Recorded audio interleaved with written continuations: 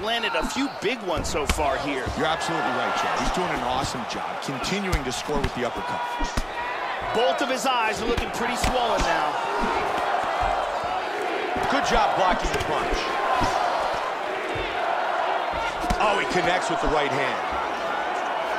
Looking to set up the uppercut. Ah, nice straight punch.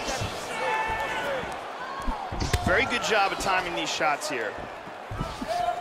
Nice roundhouse kick to the body. Dos Santos with the left.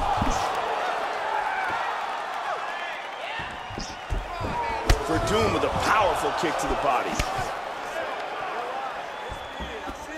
Nice shot to the body. Wow, what a great job mixing things up. Oh, that's a heavy kick by Fabricio Werdum. I know his coach, Professor Rafael Cordeiro, loved that one. They have trained that technique for so long. Big hook. And again, he's doing a really good job of timing these shots. We just got out of the way there. Tagged him. Both men throwing frequently.